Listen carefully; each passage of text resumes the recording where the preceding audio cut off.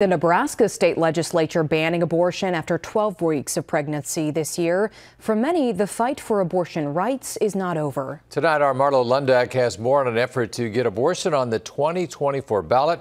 She joins us in the newsroom with more. Marlo? John Aaron, the group Protect Our Rights Nebraska is a coalition fighting to protect access to abortion here in the state. Tonight, the group tells me that next week they will start gathering signatures in hopes of getting abortion protections on the ballot for the 2024 election. I'm told they submitted their petition language to the Secretary of State in October, but they aren't going to tell us what exactly it says until they begin gathering those signatures. Last night in Ohio, voters there supported the effort to guarantee abortion protections to the state's state's constitution. I'm told the language on Nebraska's petition differs from Ohio's, but the overall goal of guaranteeing access is the same. Organizers say after Ohio's win, they're feeling more confident than ever. Absolutely. I think Ohio proved to show that when you take abortion to the ballot, voters will vote to protect their rights.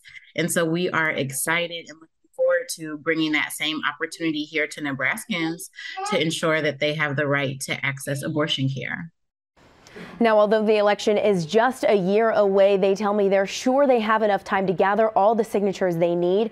A constitutional amendment, which is what this petition is, requires 10% of registered voters to sign that petition, and signatures must also be gathered from 5% of voters in 38 of Nebraska's 93 counties. Petitioners will be out starting on the 16th. On your side in the newsroom, Marlo Lundak, 6 News. We have a live